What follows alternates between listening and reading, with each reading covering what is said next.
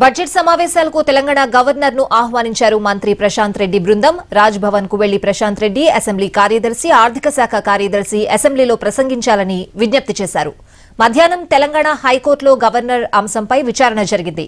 Budget సమావేశాల్లో governor ప్రసంగం ఉంటుందని హైకోర్టుకు తెలిపారు తెలంగాణ ప్రభుత్వ తరపు లాయర్ దుష్యంత్ దవే గవర్నర్ ప్రసంగంతోనే సమావేశాలు మొదలవుతాయని చెప్పారు. హైకోర్టులో దాఖలు చేసిన లంచ్ మోషన్ పిటిషన్ను సైతం ఉపసంహరించుకున్నారు. ధర్మాసనానికి చెప్పినట్లే మంత్రి ప్రశాంత్ రెడ్డి అసెంబ్లీ కార్యదర్శి స్వయంగా రాజ్భవన్ వెళ్ళి బడ్జెట్ ప్రసంగానికి ఆహ్వానించారు.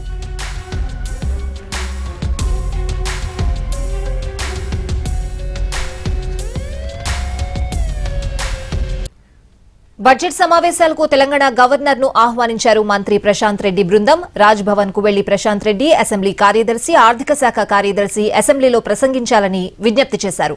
మధ్యాహ్నం తెలంగాణ హైకోర్టులో గవర్నర్ అంశంపై విచారణ జరిగింది.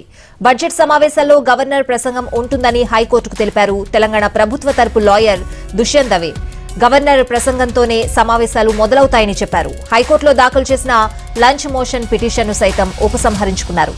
ధర్మాసనానికి చెప్పినట్లే మంత్రి ప్రశాంత్ రెడ్డి అసెంబ్లీ కార్యదర్శి స్వయంగా రాజ్భవన్ వెళ్ళి బడ్జెట్ ప్రసంగానికి ఆహ్వానించారు.